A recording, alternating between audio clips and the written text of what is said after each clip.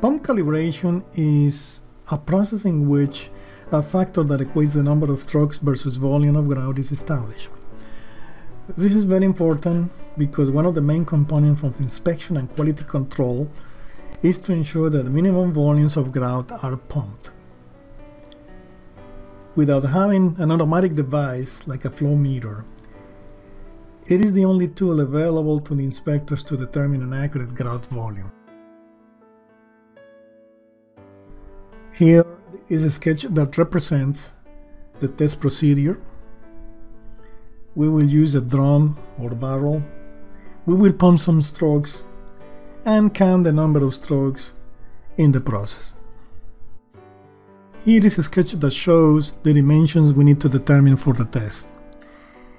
We measure the inside diameter D, the total height of the barrel H, which is measured from the inside, and at the end of the stroke we measure the free distance between the height of the grout and the top of the barrel.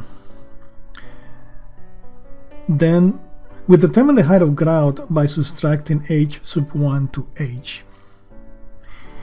We will compute the volume by multiplying the area of the circle of the diameter d times the height h2 of the cylinder of grout.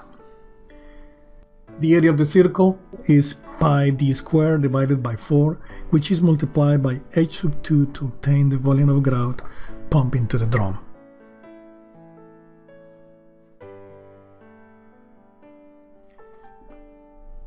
Now this video illustrates the operation in the field.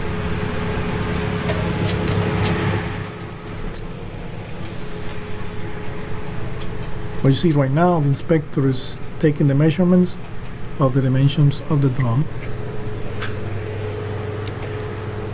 And now they're getting ready to pump some strokes into the barrel.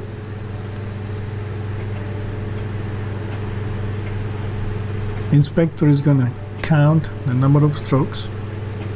You will notice shaking in the hose. One stroke, two,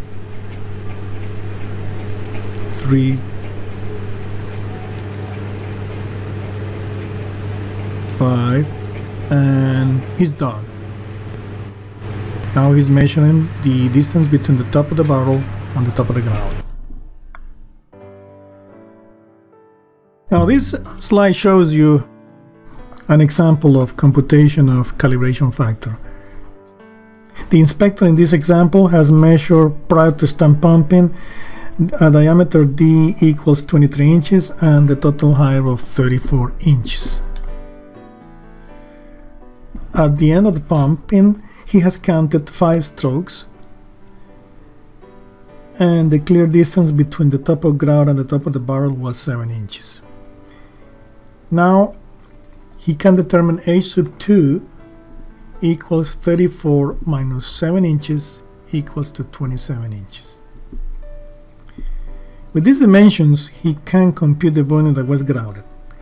Volume equals the area of the circle times h sub 2. The area of the circle is 3.142 times 23 to the square divided by 4, which is equals to 415.5 square inches. This area multiplied by the height h sub 2 of 27 inches is 11,218.5 cubic inches. We divide this by 12 to the cube to obtain cubic feet. This gives us 649 cubic feet. This volume of 6.49 cubic feet divided by the strokes, which were 5, is 1.3 cubic feet per stroke. This is the calibration the inspector will use in the calculation of volumes during the installation of the production auger cast piles.